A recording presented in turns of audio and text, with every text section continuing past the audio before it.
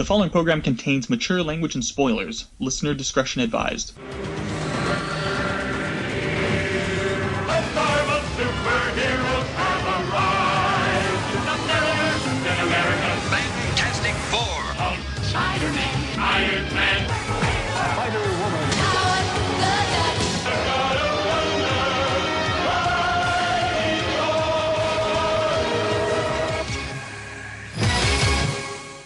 Welcome back to the Marvel Superheroes Podcast. This is your moderator, Diablo Frank. This week's selection for coverage, the Annihilation Silver Surfer miniseries, I think is impenetrable for new readers. I think you have to have a bachelor's degree in Marvel cosmology to understand what the hell we're talking about. So I felt that we needed a primer on some of these characters and concepts to help folks who may not be as familiar with the properties.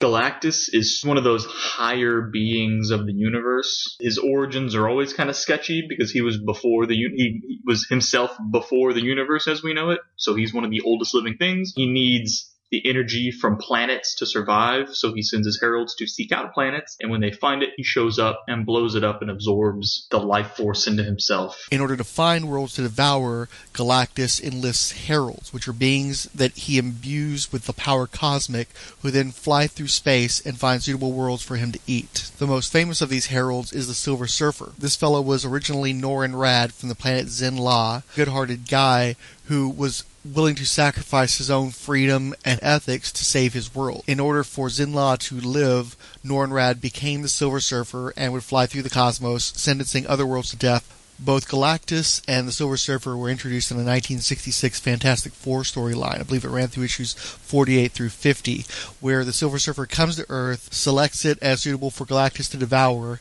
then is convinced by members of the Fantastic Four that the Earth should be redeemed. The Surfer turns against Galactus and helps to drive Galactus away thereby rendering him a traitor, so that he was sentenced to stay on Earth with a diminished power, and Galactus would carry on to different other worlds with other heralds. The Silver Surfer has since appeared in a number of ongoing series. One in the early 70s that was produced by Stan Lee and John Buscema. Most famously, probably an 80s series which was begun by Steve Englehart and Marshall Rogers, but was most popular around issues 30 through about 75. The main creators on that book were Ron Lim, a very hot artist of the time, writer Jim Starlin, writer Ron Marz. In the 1970s series, Surfer had a tendency to, you know, have all these soliloquies talking about the injustices of the universe and blah blah blah. It was in the 1980s slash 90s series where the Surfer was freed from the bounds of Earth, went off into the spaceways, and was allowed to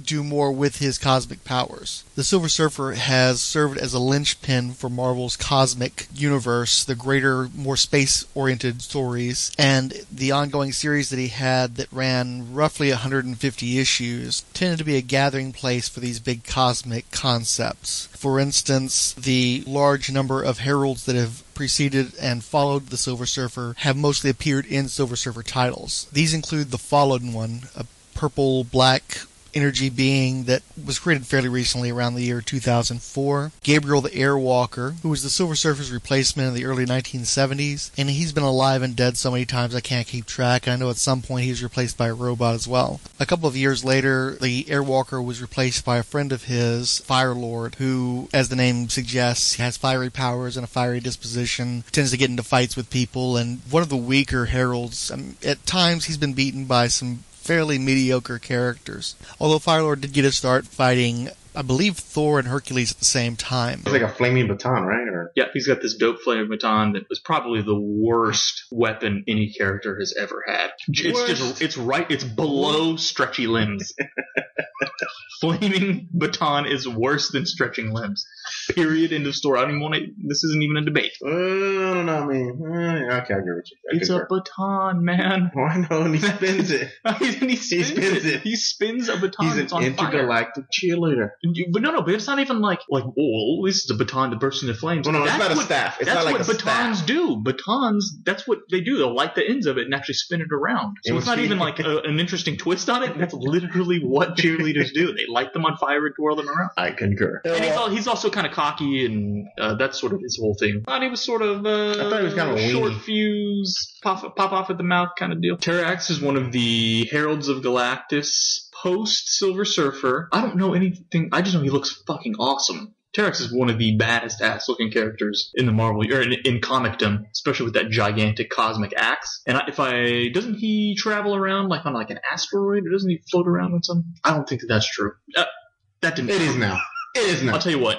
He needs it like a floating piece of Debris. because I don't. He doesn't fly, right? But how does he get around the universe? I think kind of like Thor. I guess he just throws his axe and holds onto it. I know. how does he I travel? think, I think he. I do. Really, I think he does travel on like a piece of rock. I thought there was a piece of rock that he Yeah, skated was- around on. But I don't, I don't know Terrax's origin. I'm sure that Galactus blew up his planet, right? And he saved him. And isn't that how it No, goes? I think Torax, Terrax was one of those that he really enjoyed his job, really, really liked his job. So I think maybe that's uh, that was his downfall. Terrax the Tamer, big gray guy, debuted in the 1979 issue of Fantastic Four. He became a favorite of John Byrne, and as such is one of the more visible heralds to follow the Silver Surfer.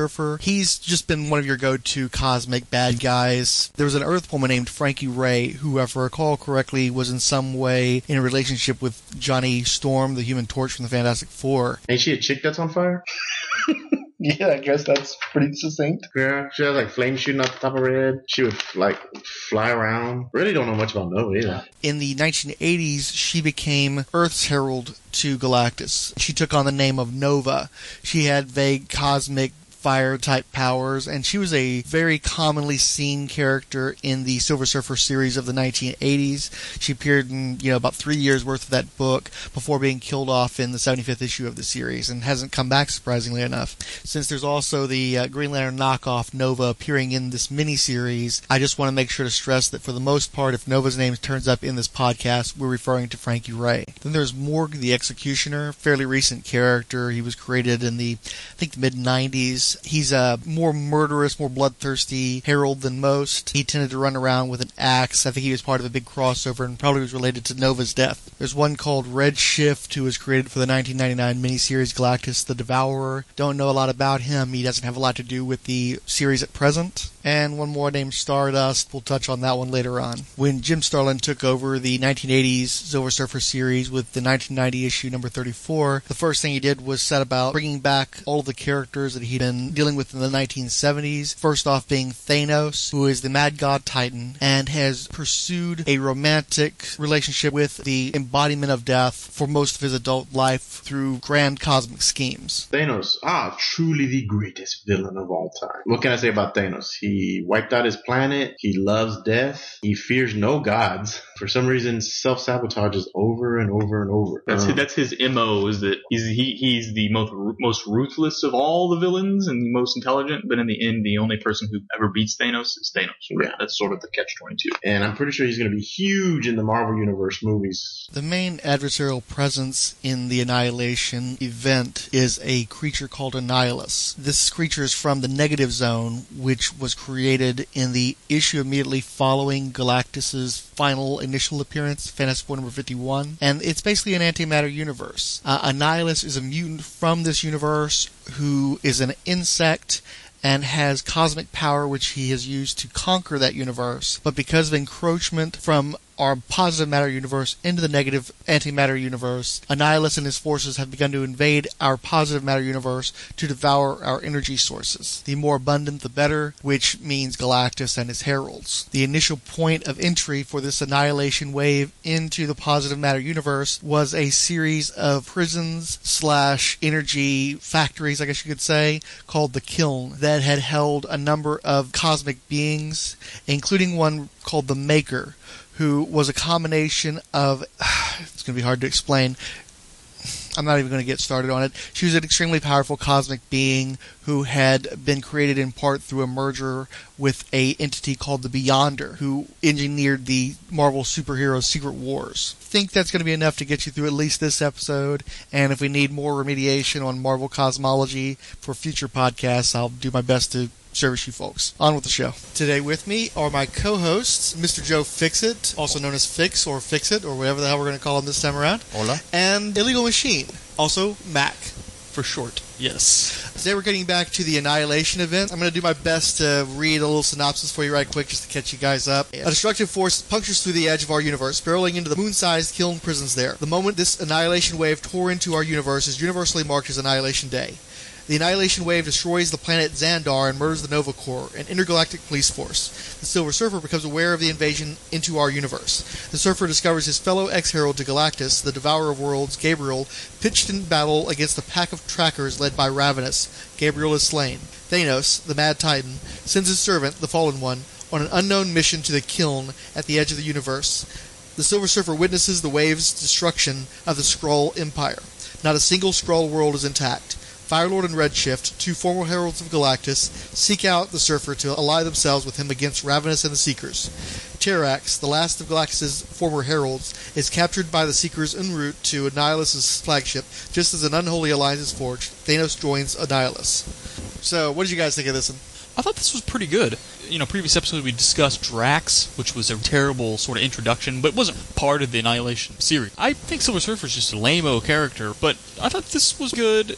First, I thought the dialogue was a lot better than Drax. I see this is another Giffen. Art was a step up, although one of my big gripes is that the artist, Renato Arlem, th- there's a great one shot by Ron Marz and Claudio Castellini by the Silver Surfer, right? Dangerous Artifacts. There are literally panels in here where I'm like, oh, he just he just Influenced. that panel. Like, uh, uh, I mean, that's that. He was like, how do I draw Silver Surfer's face in agony? Let me just flip through Dangerous Artifacts and I'll just Influenced. this panel of Silver Surfer in agony. I mean, it's super obvious. This dude has no original take on Silver Surfer, which I know is kind of hard to do because he's just a naked silver chrome guy, so it's not really easy to have a, a new take on him. But uh, but uh, other than that, I mean, it wasn't really bad. So it looks like flipping through a bunch of these series so far, the art's pretty terrible. So this was, I guess, a brighter spot. I thought that you know th- this series introduced some intriguing new characters. It, it helped show off how these new villains do against people as powerful as the Heralds of Galactus. Which anybody who reads Marvel comics, once you hear Herald of Galactus, that's sort of a flashing neon sign not to be fucked with. Mm-hmm. And these guys are in here fucking intentionally with Heralds of Galactus, so that kind of starts to reinforce how serious these villains are. They mean some business.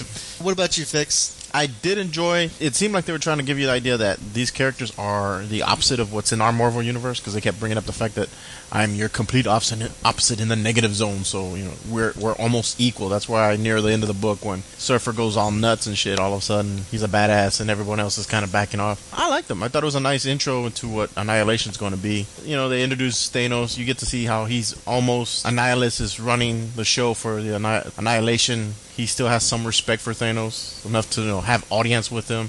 Thanos talks shit to him in front of his own you know his his, his men and, And he tolerates it. yeah, and he tolerates it. Where he even well, they even said you know if you were to stand here before Annihilus, you would be on your knee. And Thanos is like, yeah, okay, yeah, I'm not.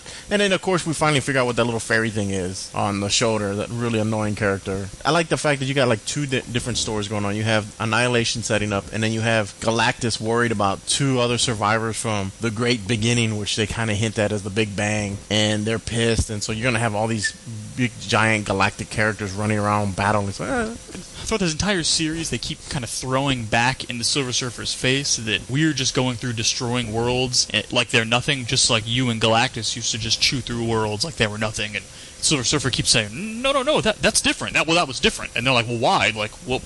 Be- because Galactus, like that was sort of the. Anytime he's faced with that question, we're like, "Well, you just, you've killed billions and trillions of people. Why is it okay if you do it, but it's it's now some cosmic threat if we do it?" And his inevitable answer is, "Well, because Galactus." You know, like th- nobody seems to really. They, they don't question Galactus because Yeah. that's sort of how they got their. They power. make You know this I big mean? thing about he's a constant, a cosmic constant. Right, since he's So been there from it's, the beginning. just sort of- it's almost Right. like He's the- the- gravity, It's right? like It's- Bi- it's like well, no, it's more like the Bible thumping. It's like this guy gets to Right. run around and blow up world after world because he's Galactus, so it's like he has a right to it as part of the, the cosmic balance. But Annihilus's wave doesn't have those same rights, and they're like, well, how come you can do it and we can do it? And your answer is God, and that's not a good enough answer for the insect people. Yeah, Yeah. very good. Yeah, that, that's so. I thought that was interesting that they're they're putting, and I understand that Silver Surfer's had that conflict his whole uh, career as a comic book character, right? That's sort of been his deal because he's nobody can beat this Silver Surfer, so you have to give him that sort of. Uh, humanity to make him a sympathetic character to actually write a story around, right? Because it's sort of like the Superman syndrome, where Superman's got everybody's powers. Oh, and he's also the best at all of them. Okay, so how do you write a compelling story around somebody who can do everything? That's kind of the whole thing with Silver Surfer is that he's got this guilt that he kind of carries around. Um, so they do a good job of kind of throwing that back in his face a few times here. It's you're reminding me. There's a podcaster, Michael Bailey. He runs uh, Views from the Long Box, and he always likes to quote this friend of his. He was a fan of certain characters, and his buddy would tell him that I like Silver Surfer because he kicks ass and he don't take shit off nobody. So it seems like a lot of people who liked Silver Surfer, maybe in the '90s, were getting off on the power trip. That this guy is an angel of the cosmic god who blows the shit out of everybody. Well, And- no, but like I told you, I, read, I just reread the Rebirth of Thanos to me, and that's by Jim Starlin. Now, that, that, this is the uh, like in the 30s, like Yeah. the Silver Surfer 35 or Yeah. something around there. And that's the one where, you know- this is pre-Infinity Gauntlet. Yeah, well, basically, yeah. he's setting up the Infinity Gauntlet where he shows up to Silver Surfer and he's talking to the Silver Surfer. Thanos is talking to Silver Surfer on Earth. He's like, you know, I'm about to do some really bad shit, and you're the only person to get in my way because you're that bad. But I, I need you to understand you can't get in my way. And Surfer's kind of the whole time like, well, in the back of his mind, the whole dialogue is, oh, well, I can take him out any time. Let's see what he's doing. And then he zaps him to another. Thanos zaps them both to another planet with these little monkey-like creatures and they're talking there, and you know Thanos is throwing his whole big you know philosophy of the universe and life and death and balance, and then he flips them back. When they get back, Surfer's kind of still talking shit about well you know I can take you out any time, and Thanos basically says well you know when we were on Earth you got germs on you, and then they took you to the planet which they've never had germs, so they're gonna die. You can either waste your time fighting me, or you can go take care of the little monkeys wherever the hell they're at. And Silver Surfer, it showed how gullible he was, and even in his mind, he's way too big. And so he's rushing over to save that planet, and Thanos goes along his business to start Infinity Gauntlet. So I like when they knock him down a few pegs, like they did in this book. Well, there's an instance though where the means by which they do that, it, it's sort of like with Superman. Superman always had these intellectual villains because since you couldn't take him on one on one, mano a mano in fist fights, he, al- they, he always had somebody who would outsmart him or put him in situations that compromised him. And it sounds like what you're saying is even though Thanos could to some degree go one on one against the Surfer, he chose to use the intellect Yeah. to compromise the Surfer, to use his morality or his sort of Naiveness, I thought. yeah, well, and also it's a convenient morality because with all the things that the surfer has done, for him to get on his high horse now, there's hardly anybody who's ever killed more characters than the Silver Surfer in any comic universe. So it's it's him deciding that he's of a higher morality is pretty questionable, especially when again it goes back to the answer: it's God. Yeah. I'm doing it for God. It's like, well, sometimes God isn't good enough. Yeah. So I, thought that over these four issues, you kind of they, they sort of keep hinting back to Galactus that they're coming after Galactus, and we find out it's because Annihilus wants the power cosmic, right? Like he's feeding on all these different power sources. Another thing they do in this four issues that help kind of ring that oh man, this really is a serious event is that even Galactus, um, when they, I guess it's the planet that uh, Quasar was in in the prologue that was destroyed, that was con- that held. Oh, I, well, hold on. Are you talking about Nova? With no. Nova? Okay. No, yeah, Nova. Sorry, yeah. I said okay. I said so when Nova, the Xandar, or whatever it's called. yeah, when that was destroyed, Thanos reveal I mean not Thanos, Galactus reveals to Silver Surfer that back before the Big Bang, he had, I guess, imprisoned two of his of his same species, right? Well, no, Something my like that. understanding was there was a great battle, and they were the three to survive. Right. But they were going to undo gods, which they kind of hint at. The, well, he says the creators. He, they were going to undo the creators' creation in their own likeness. So he imprisons them in whatever he imprisoned Right. them in. And, and so wh- what Annihilus has done has, I guess, unbeknownst to Annihilus, or maybe he, maybe he did know. We don't, we don't. I guess we don't know yet. He's now basically freed these two rogues from Galactus's race, which now has Galactus. Now this whole situation is on is on his on his radar brings the Surfer back in to be his his herald and mm-hmm. Well, he said he was his favorite. He was his favorite because he, even even a surfer goes, well, why? You know, I was you know I was disobedient, and even Galactus is like, well, sometimes you know when all is lost, all you have is disobedience. You're the you're the only one to say no, so I respect you for that. Because he even says the other ones did their job too well. In other words, they were Right. they were his lapdogs. He could tell them to do something, and they would do it, and they never challenged him. In a sense, Galactus felt like they're his yes men. He never really knows what's going on because they're just saying yes. Or service Surfer, every once in a while, would say no. Now, I do like the fact that when he re- remade him and made him a badass, you know, Silver Surfer's like, you know, I can cleanse you of all your past, all your memories. Like, no, let me keep my regret.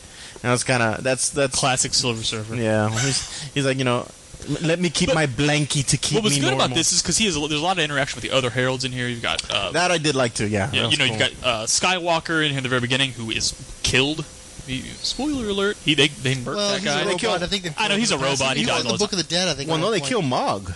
One of the last. Uh, yeah, they they kill. Is it? Mog. Yeah. Yeah, they kill Morg. Mo- was it Morg or Mog? Yeah, Marg? Morg, I think. M O R G. I don't. Yeah, because see, that's, that's the thing is, and me, a lot of my Silver Surfer experience was from just before, right around the time they brought Adam Warlock back, because that's what where my interest was in, through Infinity Gauntlet, and then I stopped. But uh, later on in the series, while Ron Moore, Marz and Ron Lim were still doing it, they spent a lot of time building up all these other heralds, where they were practically a team unto themselves. Because before that, Surfer was introduced, and there's no mention of any other heralds. And then starting in the 70s, they started bringing out all these people like Frankie Raye Nova, what's his face, Terrax. And so at this point, you have so many that you could probably afford to kill a few for the, the Yeah. spectacle alone. And, and, Uh, and- but apparently, like Morg was the one who was like he was an executioner, and he made a point of taking Galactus to heavily populated worlds because he just didn't give a fuck. Then you had Terrax, who apparently had an agenda he was always running to run. He was always trying to use the power cosmic to get for his own gains, and eventually, and he tried to set Galactus up to die on Earth at one point. Galactus took the power cosmic away from him. So uh, a lot of these guys have been hassles. You know, they killed Nova, the female Frankie Raye Nova. I think in the 75th issue of Silver Surfer, so she wasn't an option anymore. I guess she was pretty good too. But but anyway, so so they they basically show that the Annihilus has been hunting down these heralds to to devour their power cosmic. take So- the, the part that Galactus gave them to make them heralds, he's trying to eat that part. right, and and really you can kind of see the end game is that they want to be led to Galactus. That's what this whole thing is kind of building to. So that that's an interesting little subplot that's popping up. The the two uh, other of Galactus species hanging around now. That's a whole other kind of thing in play. And at the end of this of these four books, we see Thanos bargaining with them. Like now, now you start to see why Thanos is sort of getting involved in this. Maybe is that obviously he's just using Annihilus to sort Well, he's of. always going to further his own. I mean, he's always that's oh, right. I mean, he's doing classic Thanos stuff. and he's powerful enough to where Annihilus is willing to work with him rather than try to eat his purple hide. So. Right. Yeah. Right, right, right, for sure. Um, so I, I, I just thought that it was, I thought it was a pretty good series, and, and, and anyway, so the reason I brought up the other heralds is that even you know like Fire Lord is in here. Fire Lord, right? Is his Yeah. name, right? Firelord. Yeah. Although he vague, very vaguely rec- resembles the character. Yeah, he didn't. He doesn't look like him at all in this book. Everybody's a little off model in there. Yeah, but it, they even they all sort of reference Silver Surfer's kind of bleeding heartness. Like they even they all know it. So Yeah. it, it's kind of funny that I don't know. I just thought that was- that was a good way to kind of establish that yes. Silver Surfer is who you remember him being. It's not just the way you have interpreted Silver Surfer. Yeah, even the characters that are closest to him, the other Heralds of Galactus, well, they all know he's also kind of a bleeding heart wuss, also, um, despite his insane power. So anyway, I thought it was a good. Uh, you know, nothing really happens. It's all kind of still set up, but uh, I thought it was pretty good.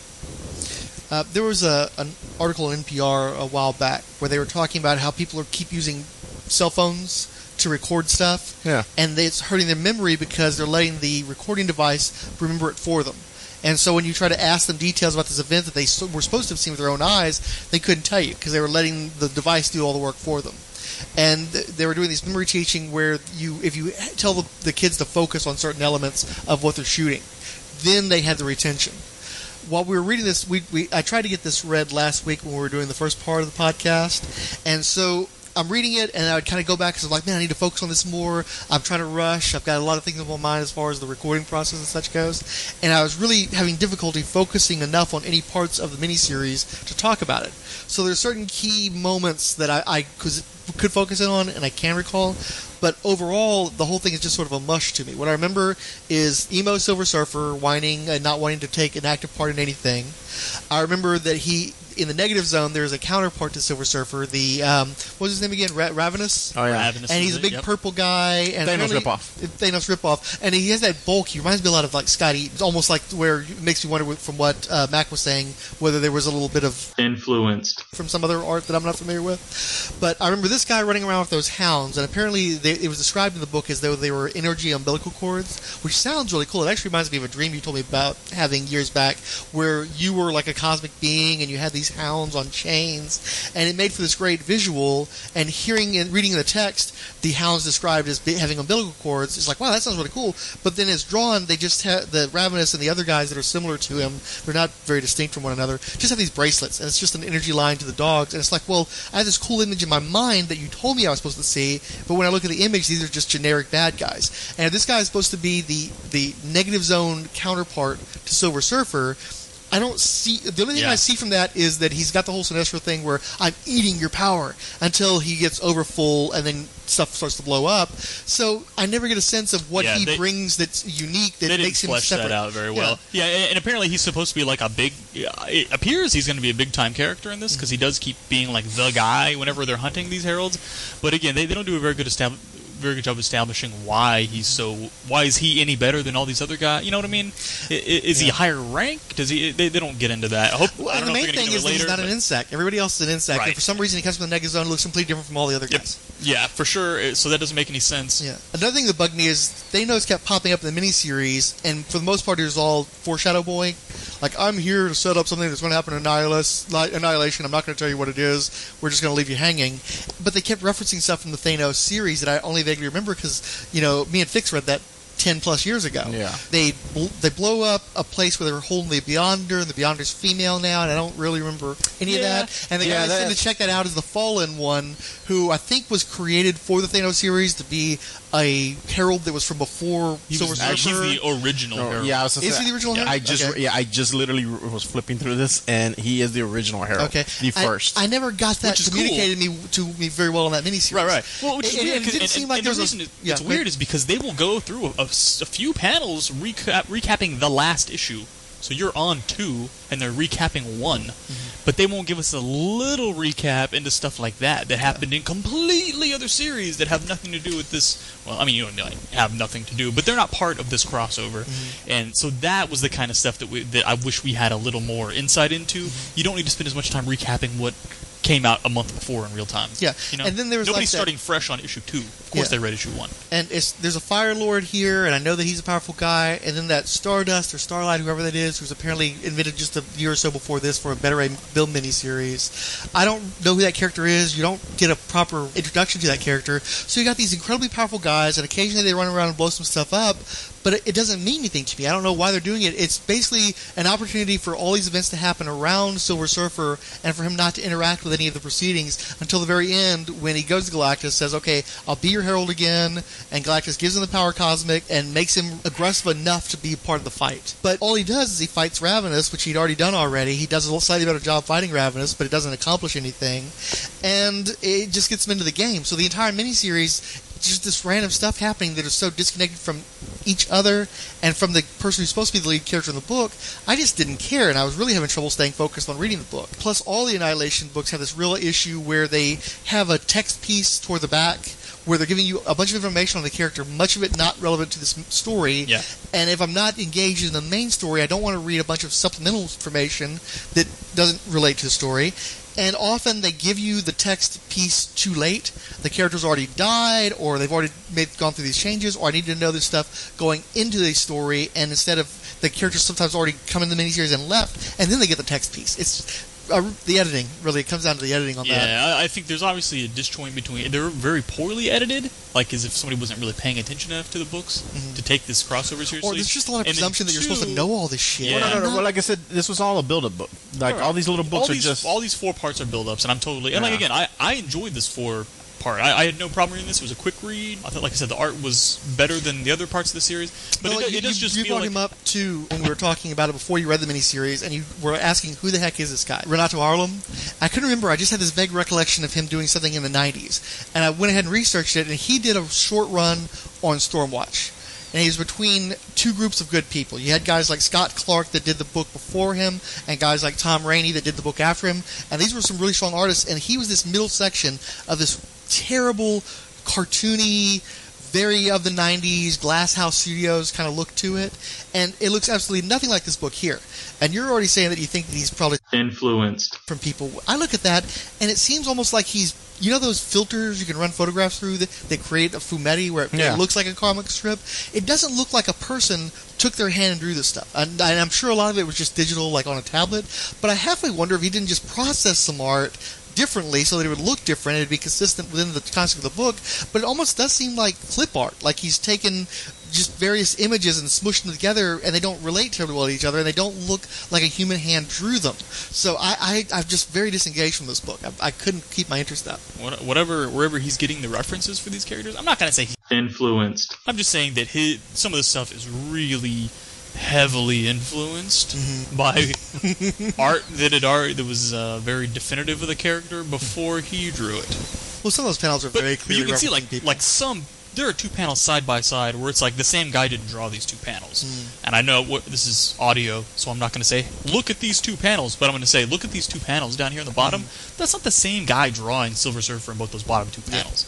Like that And looks I like see the Castellini that like you're talking that about. first there, one's a. Castellini, and the second one is I, I don't know. Maybe he decided The to do that on his inker? own. Maybe the inker? It's I don't think these aren't an inked. inker. These aren't inked. I don't think because Oh. uh, they look like really rough pencils. That, that you know how you know that was the thing they did in the early 2000s where they would just sort of color pencils. Mm-hmm. Like you can see all of his hatching and stuff. And It's really rough. Again, it, it's not it's not the worst stuff I've seen. It just, but some of that stuff where I'm like, oh damn, that's straight up that's Claudio Castellini.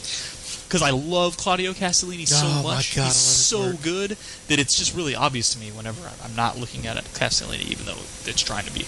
But again, some of the art in this series so far has been crap. So I was going to ask you guys this since I wasn't collecting it this time.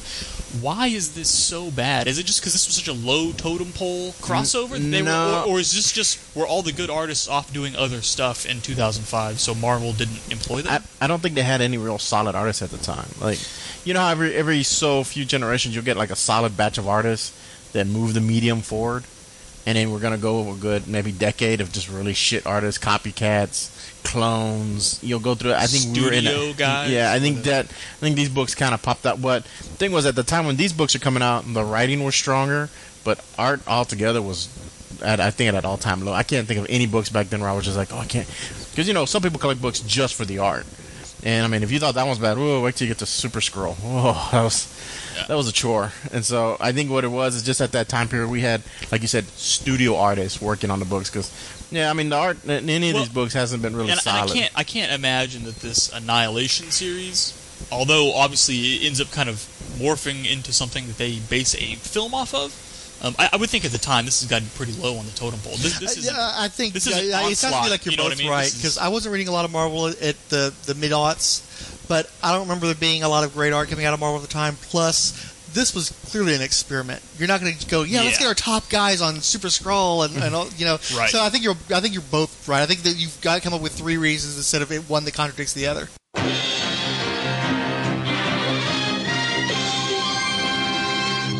All right, one more quick dive into the Marvel mailbag while while I still can. Listbirds followed us on Google Plus. We received favorites and retweets from Ange, DCX Radio, Count Druncula, David Golding Artist, Heel Perrin. One of these days I got to check to see if that's the correct pronunciation. Eternal Rage, Firestorm Fan, Infinity Watcher, Keith G. Baker, Legion Bloggers, Listbirds, Longbox Graveyard, Mythmaking Etc., Pirate Mike, Professor Riptide, Sean McLaughlin, Silver Age Sensations, and Sin. Twitter comments. Uh, I was asking, you know, if a Yank were to visit London, would Forbidden Planet be the place to visit, or is there a superior alternative?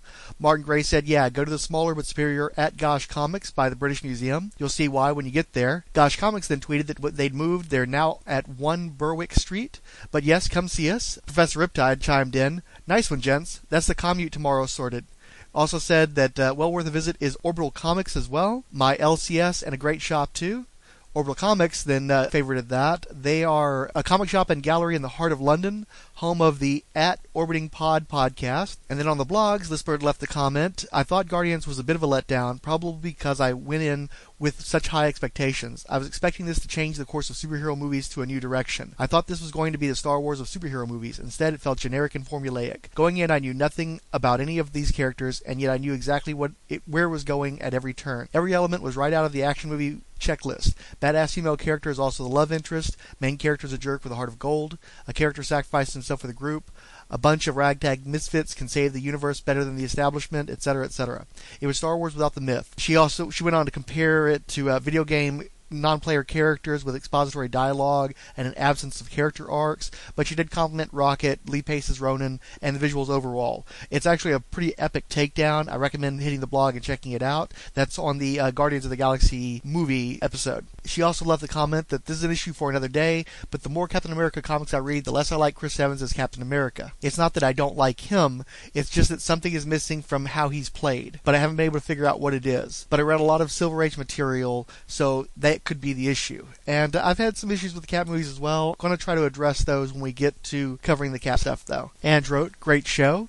I said it before and I'll say it again. I love Annihilus. That guy is awesome. And I like that after being a sort of second rater, constantly being trashed by the FF, that he was suddenly a power player in the Marvel Universe.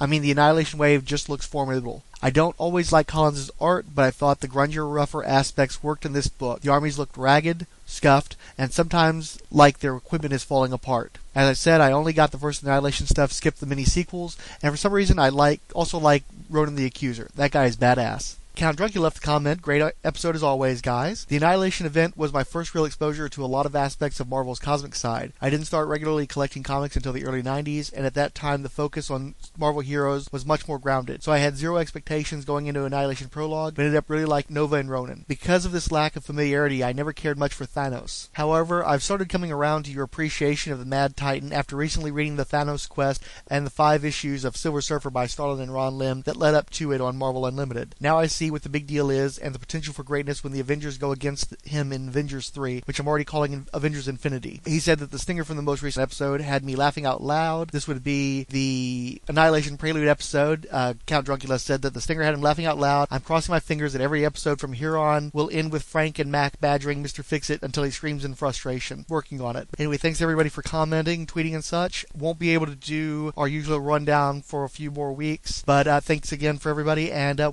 see you on the flip side.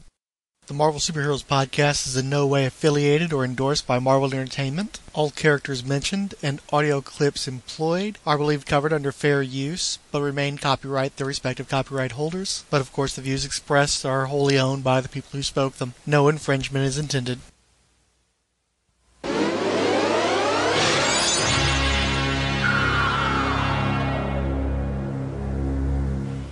Okay, the Silver Surfer episode is completely incomprehensible unless you've already like deep in the Marvel lore.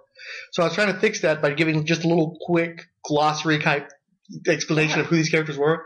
It needed it. I was listening to it, and if, if unless you know these characters really well, you're not going to understand what we're talking But about. we don't know those characters really well. How can you possibly have spoken that? because it was just a little tiny snippet. But me doing that for the major characters still took eight fucking minutes. So I was going to get quickly recordings of you guys doing it, so at least there's some different voices to help fix it. Gabriel the Airwalker. Indeed. Android. Yeah, with a hole in his chest, right? Where he got punched or some shit. He's an android that uh, is a herald of Galactus, but his whole deal is that he's a robot. and, and they couldn't use Skywalker, so they used Airwalker. He actually predated Luke Skywalker. Did he? Yeah, I think so. I think he came out in 74. What? Well, that's a whole other thing about the Lucas films being very comic book influenced, right? Yeah. But I, ser- I seriously doubt he would name. Never mind. Okay, we're not even getting into this. There's no way he was going to name Luke Skywalker after a herald of Galactus, right? There's no way. He was he was obviously a Kirby fan. I mean, oh, I- that was post Kirby. I, I get I get the the Doom being Vader. Darth Vader, but there's no way he's like, oh god, I love Airwalker so much. I've got They can't call him this is Skywalker. my homage to Airwalker. Air, Sky. I'm just Uh, saying. well, I know that's the whole point. That's the but no, that that is a coincidence. Redshift. Who? Redshift. Stardust. That's that little glowy dude, right? With the tail? like all sprinkly? Uh, is that everybody that I was trying to touch? on? Surfer. There's one more. Yeah, you one just miss- had one. One No, we're actually missing. Surfer. Let me just- Maul- wasn't it like Maul? Do, do, we, do we need to talk about that Silver Surfer's real name is Norrin Radd? Wait, there These are look, man, these are the worst characters ever. Dead air. The one after uh, I'm going to edit the shit out of this anyway. It's Yeah. getting this is basically going to be laced into the one I did. Please cut out a bunch of everything. that we A talked lot of that about. shit's it going to was get fun, cut. man. No, it was fun, but it, nobody should hear this.